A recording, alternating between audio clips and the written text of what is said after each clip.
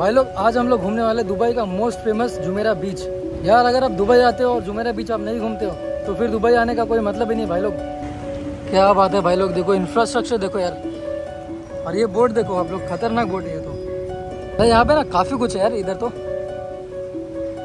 यहाँ पे फेरारी है और उस आगे जो है लम्बोर्गिनी है। तो बोला ना, अगर दुबई आए और कार नहीं देखे तो फिर क्या दुबई आए? ये जो आप देख रहे हो ना सामने ये है एन दुबई ये वर्ल्ड का सबसे लार्जेस्ट वर्ल्ड का सबसे लार्जेस्ट व्हील है। और मेरे पीछे का आप नज़ारा देखो। देख के मज़ा आ रहा होगा ना?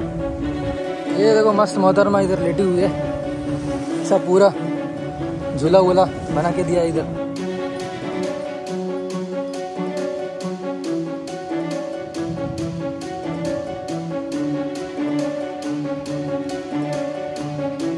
नमस्कार दोस्तों, कैसे हैं आप सब? फिर से स्वागत करता हूँ आपका मेरे इस नए ब्लॉग में। भाई लोग, आज हम लोग घूमने वाले दुबई का मोस्ट फ़ेमस जुमेरा बीच यार, अगर आप दुबई आते हो और जुमेरा बीच आप नहीं घूमते हो तो फिर दुबई आने का कोई मतलब ही नहीं भाई लोग।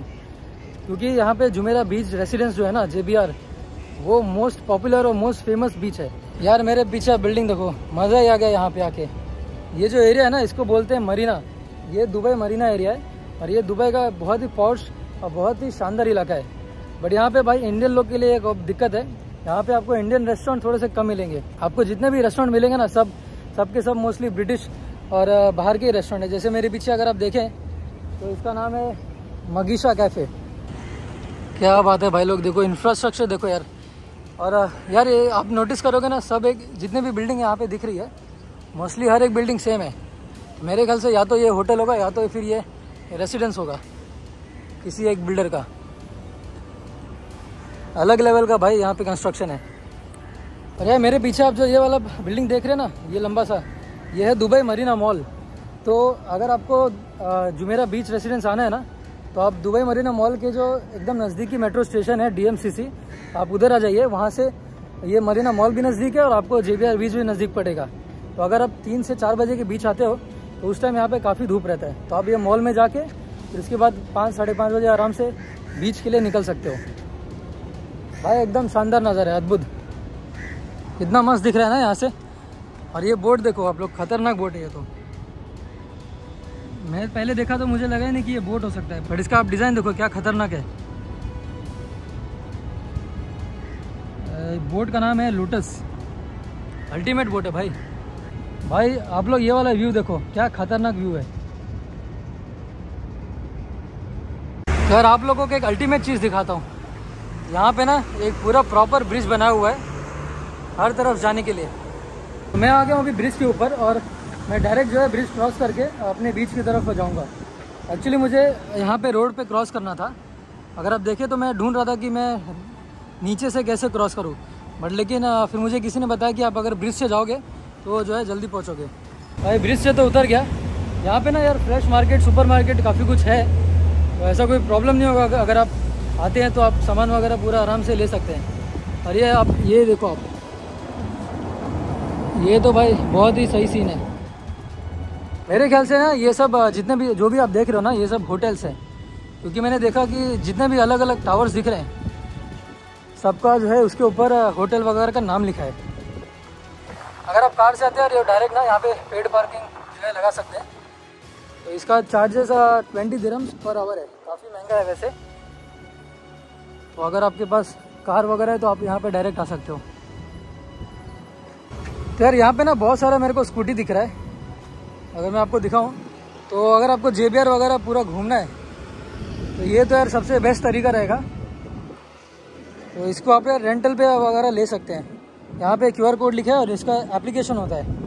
ये जो कंपनी है, इसका नाम है, ये दुबई आर से ये लिंक्ड है। तो आप आर टी दुबई का जो आर है, उससे इसको स्कैन करके आप ये स्कूटी जो है रेंट पे ले सकते हो। ये देखो भाई। अच्छा ये मेरे को ना हिल्टन होटल दिख रहा है वहाँ पे। तो ज़्यादातर यहाँ पे रेसिडेंस है और होटल्स है। ये कैफ़े कुर्सी तो यार अपने इंडिया में जैसे रहता है ना, वैसे ही है। बट ये रेस्टोरेंट होगा काफ़ी महँगा। लोग तो वैसे दिख नहीं रहे बैठे हुए। काफ़ी सही सीन है। यार, मैं फाइनली आ गया हूँ अपने जेबीआर वाले एरिया में। और, यहाँ पे तो अल्टीमेट सीन है। अच्छा अभी ना बज रहे साढ़े पाँच।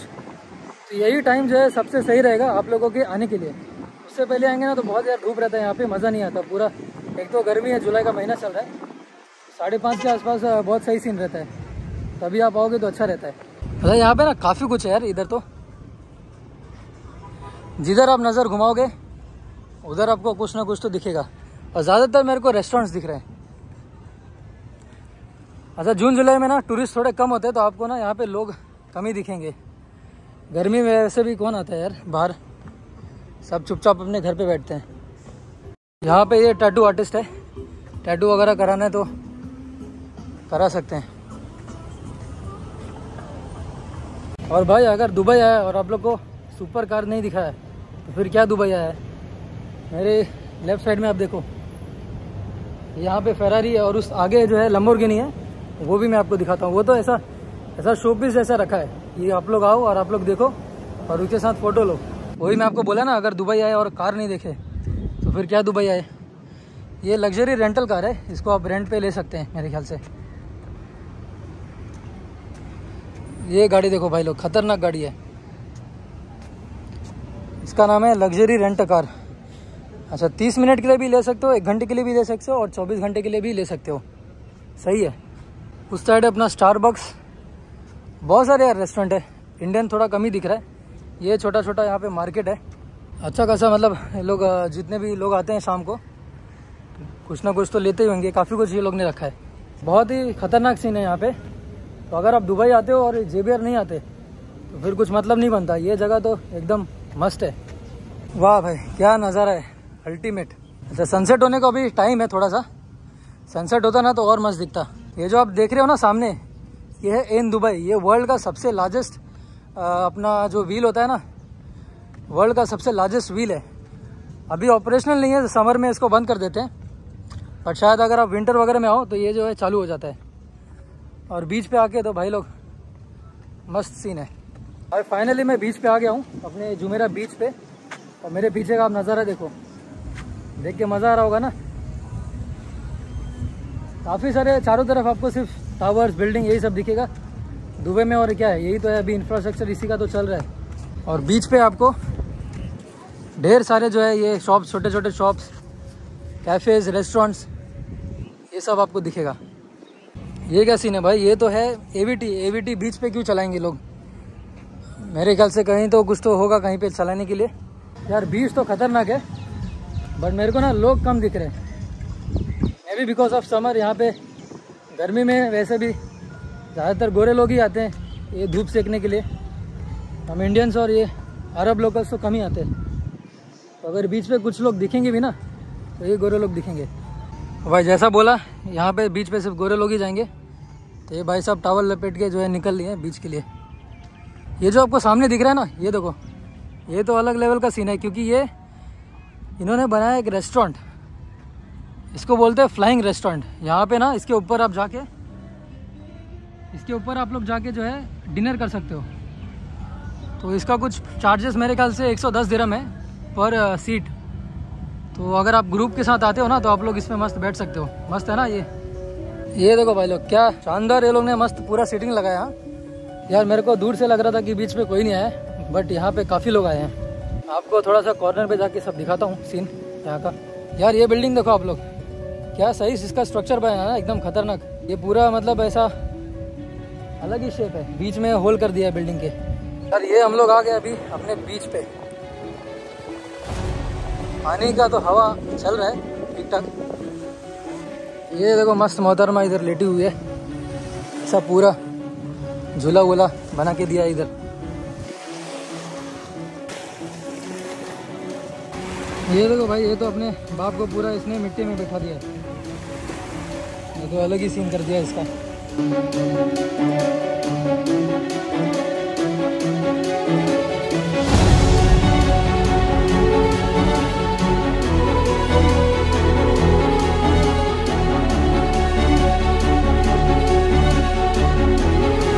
यार, मैं तो आ गया अपने जुमेरा बीच पे।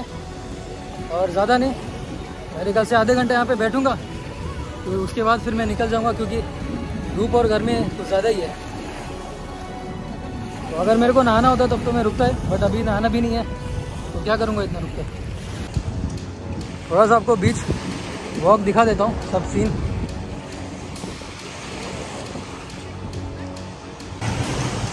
यहाँ से आप नज़ारा देखो भाई लोग। यहाँ पे पूरा बीच है और इस तरफ़ से पूरा रेसिडेंस स्टार्ट होता है। और जो वहाँ पे जो ऊपर रहते होंगे ना, उन लोगों का तो मस्त व्यू दिखता होगा।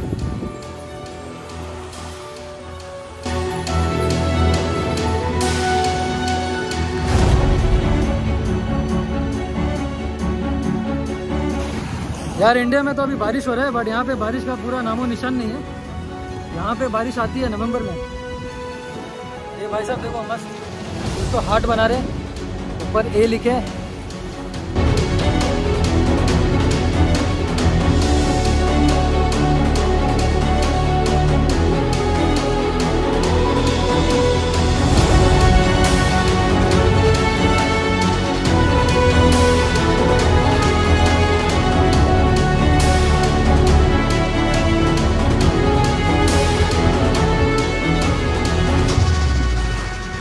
यहाँ पे ना काफ़ी जो है कम पब्लिक आया है।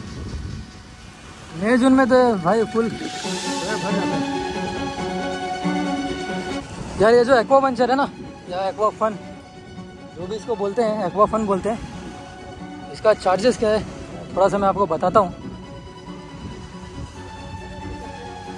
इसका चार्ज जो है, अगर आपको अपने बच्चों लोग के साथ, अगर आप फैमिली के बच्चों के साथ आते हो तो इसके अंदर अगर आपको जाना है तो पर पर्सन का अगर छः साल के ऊपर है तो एक सौ पचपन दिरम है। और ग्रुप में आते हो, और five more one twenty five one twenty five per person हाँ? अगर पाँच लोग हैं तो। तो मेरे ख्याल से साढ़े तीन हज़ार, चार हज़ार के आसपास हो गया। है तो महँगा ये बट अगर आपको करना है तो आप ये कर सकते हैं। वो देखो यार, लोग वहाँ पे ना जेट का मज़ा ले रहे हैं। यहाँ पे रेंट पे आपको जेट वगैरह जितना भी राइड्स होता है ना सब मिलेगा? उसका मैं आपको चार्ट अभी बताता हूँ कुछ टाइम में। आई होप आप लोग यार बीच देख के मज़ा आ रहा होगा। हेलो, ये आप नज़ारा देखो। और ऊपर मस्त बैठ के आप जो है अपना डिनर एंजॉय कर सकते कुछ लोग मेरे को दिख रहे हैं, बैठे हुए हैं। तो ऊपर बैठ के लोग अपना डिनर एंजॉय करते हैं और अच्छा खासा उनको व्यू मिलता है इधर का। वाटर एडवेंचर दुबई और इसका ना पूरा रेट यहाँ पे जेट स्की का पंद्रह मिनट ढाई सौ दिरम भाई मिनिमम ही इसका दो सौ दिरम है। और fly boat three fifty dirhams तो दो सौ दिरम अपना चार हज़ार हो गया। उसके ऊपर मिनिमम स्पेंड आपका फोर थाउज़ेंड है। और ये फिशिंग ट्रिप पे लेके जाएँगे, इसका तो अलग ही लेवल का चार्ज है, तीन हज़ार। मतलब अगर आपको मछली मारना है तो सत्तर हज़ार रुपये निकालो। इस पर भी वही सीन है। तो ये है ना अपना टिकट काउंटर है वाटर एडवेंचर का। अगर आप लोग को लेना है जस्ट इसके बाजू में, ये आपको दिखेगा ना रेस्टोरेंट फ्लाइंग रेस्टोरेंट इसके जस्ट बाजू में आपको ये काउंटर दिखेगा। एक बार पूरा नज़ारा दिखा देता हूँ। बहुत ही सही सीन है यहाँ का। आपको फुल मस्त व्यू दिखेगा। आप नहा लेते हो ना? यहाँ पे शावर के लिए पूरा सीन दिया हुआ है। तो कोई टेंशन नहीं मिट्टी विट्टी लग गया तो इधर आके नहा लो। और इधर तो भाई फुल बिज़नेस चल रहा है। टावल शावर लॉकर सब कुछ है।